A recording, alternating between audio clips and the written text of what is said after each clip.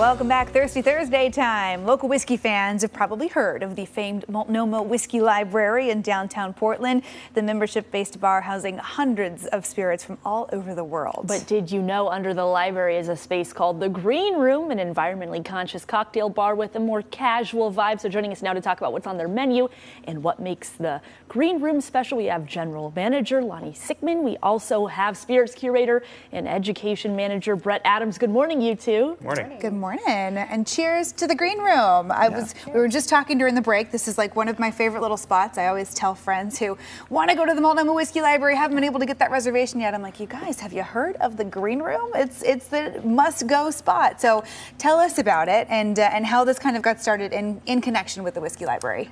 Yeah, so the Green Room actually opened um, a few years after we opened the library in 2016, um, and it really kind of set out to be a um, classic cocktail bar. Mm-hmm. Um, and I think it's kind of like, you know, I think with everything we've evolved as time has come has uh, you know gone on, but um, we really try to focus on classic cocktails that have been mm-hmm. updated for the modern palate. Mm-hmm. Um, the wonderful thing about it is that it's all the same stuff, so the same like amazing, talented staff we have right. making these seasonal cocktails in the library are also making these cocktails for the green room and really right. thinking about perfecting these recipes. Yeah, classic cocktail bar that is whiskey library level of, of talent and lovely things to imbibe. Yes. I know. I was entranced by just looking at the cocktails that we were featuring on their screen right there. So uh-huh. tell us about the kind of cocktails that you serve there. Are You're saying it's the same staff making them? Same staff, same talent. Um, but what we do upstairs is really focus on creativity and new menus all the time. And what we want to do downstairs to differentiate was really think about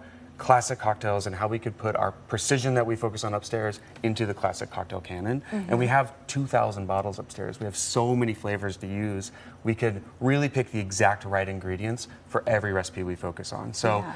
upstairs, we've really kind of made the cornerstone the old fashioned, mm-hmm. and we mm-hmm. wanted to make a cornerstone cocktail for the green room as well, and that became the martini. Interesting. Yeah. Yeah, not just whiskey over there. You can enjoy a martini in the green room. So, what are we doing today? So, the martini was uh, originally published, the first recipe was published in 1888. Mm-hmm. So, we looked back to those original recipes, thought about the idea of the cocktail, and it was really about balancing the botanical notes of gin and the botanical notes of vermouth. Mm-hmm. And so, we didn't just pick one gin and one vermouth, we picked six. Oh, wow. And we got really specific Cody, our lead bartender, and I spent like 15 hours developing one cocktail. Oh my gosh. Utilizing six, you know, six different bottles. There's five here because one of them is out of stock. Oh wow. And we're going to be changing our recipe and picking a new one. So we got another 15 hours to figure that out. Oh my um, gosh. But we blended three different gins together, focusing on the different notes that they work uh, they provide to the drink, and then three different vermouths together. Wow. Finding, and then we pre-dilute it, uh-huh. um, put it in the freezer, so when you're ready to order it, it comes out right away.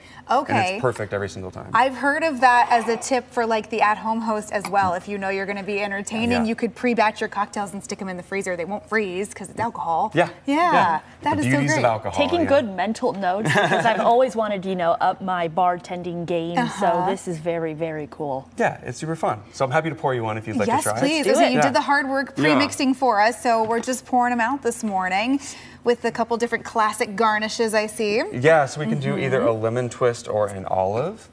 Uh, either one works Cheers. great. They're traditional. If you go back far enough, a cherry is also traditional. Really? Yeah. Interesting. Um, they're one of my favorite cocktails, and I think it showcases the precision that we do in the bar. Uh-huh. Um, another really fun part about our cocktails in the green room is that we uh, utilize selling cocktails in the green room to raise money for local charities. Mm-hmm. Okay, so big, about that. Uh, we every quarter pick a environmental or a social cause that we're going to raise money for. We uh, choose to donate twenty five hundred dollars to that cause, and we partner with uh, a brand to match that donation. So every year we, we raise about $20,000. What oh, organization awesome. are you working with now? Uh, right now it's the Raphael House. Oh, very cool. Mm-hmm. Oh my gosh. So a great way to go out, have a good drink, give back. And then, of course, if you're going to be enjoying some cocktails, always nice to have some nibbles with it too. Mm-hmm. The Green Room's food menu is pretty fantastic. It is. Um, we focus on locally. Uh, made produce and products as much as we can. Mm-hmm. Um, it's always constantly changing with the seasons. Um, we really try to um, honor like all the things that the Northwest has available. Um, you know, from oysters to local produce to um, you know, cheeses when we can as well. And so all of that is also available, like all the way up till close, the full menu. Um, we have a great happy hour.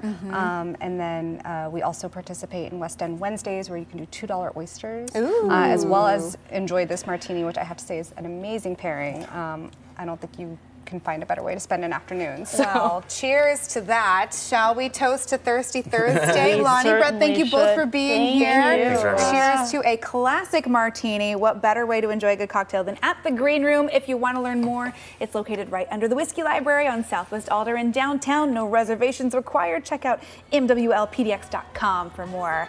Happy Thirsty Thursday, everybody. See you tomorrow.